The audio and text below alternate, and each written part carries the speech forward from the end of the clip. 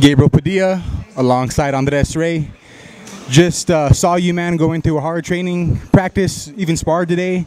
How's camp going, brother? It's going great. It's going great. Unfortunately, there's been a little bit of a hiccups. We don't have an opponent yet. Uh, what's that like right now? Are you just staying ready? You know, what, what's going on right now? Yeah, it's a little stressful, but um, just staying ready, going hard in the gym still, and sit, waiting for whatever comes up. Man, I've always the, I've seen you a couple times off camera, and I just kind of wanted to ask you about you know that last fight. Um, you know, I I really impressed me, man. That was your debut, and uh, we kind of saw you, you know, kind of not have trouble, but the guy was talking crap. You know, he was coming forward with a little bit of pressure, just kind of all out going. Um, but uh, you know, you were in there, technical, you boxed, and ended up getting, I believe, unanimous decision. Um, how was that for you, man? It was good. I felt, it felt great. I was hoping to knock him out because he was being a little cocky, you know. But other than that, um, I'm glad. You know what I mean? I'm glad the way things turned out. Either way.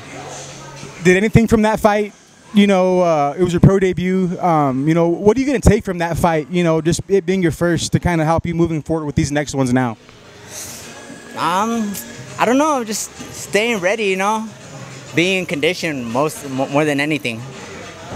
Um, how is um, the looks here at Jack Candelaria Boxing Gym, man? How is the training um, these days here? It's tough. All the sparring's been tough. Uh, you know, what I mean, everything's going good. Um, you know, hopefully everything um, comes to fruition this August 5th. You get an opponent, you get a fight, you get the W. Uh, what's next for you, man, after this?